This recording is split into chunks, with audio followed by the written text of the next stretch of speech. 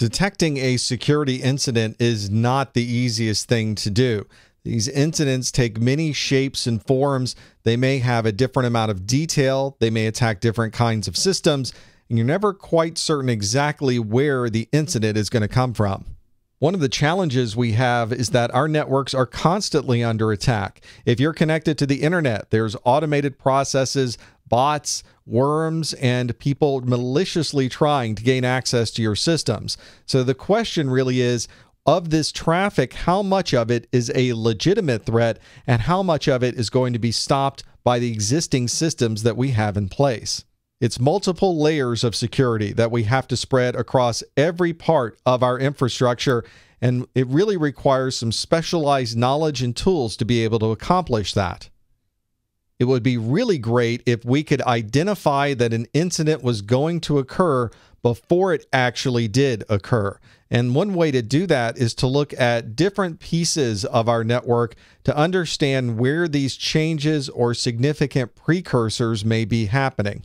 One place to gather these precursors is in something like a web server log. You can look at what people are hitting your web server, and you can also see when different devices or different scripts may be running automated vulnerability checks against your servers. And this may give you a heads up that somebody's trying to gain access into your systems.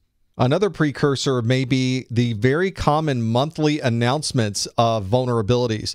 Microsoft, for instance, announces vulnerabilities, and almost immediately you see the bad guys trying to take advantage of these open holes in your operating systems before you have a chance to patch them. So you may see an increase in the number of people trying to use those vulnerabilities against the servers that you already have in place.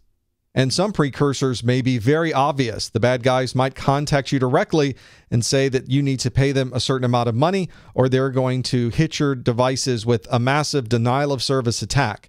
In these particular cases, you have a decision to make on whether you pay them their money or you protect your systems against these kinds of security incidents. There's a number of things that you can monitor to see if an attack might be underway. This obviously is going to be important because the sooner we can stop the attack, the less damage is going to be occurring in your network. One way is to look for things like buffer overflow attempts, which is a very common way to take advantage of bad software in an application or in an operating system. You can look to intrusion prevention systems to provide you with information about things like buffer overflows because they tend to have signatures that are specifically designed to look for these on the network and inside of an operating system. On the devices themselves, you can constantly update your antivirus and your anti malware signatures so that they may also identify malicious software that may try to execute in the operating system itself. In those cases, the software also generally contacts you, so you'll have an idea of where these particular attack vectors are coming from. It's also very common in your file servers where the operating system files and the documents don't change very often to lock them down and then monitor the files. That way, if somebody does gain access into the operating system and they try to modify what exists, you'll be notified that somebody has made a change to these files that normally would never be changing.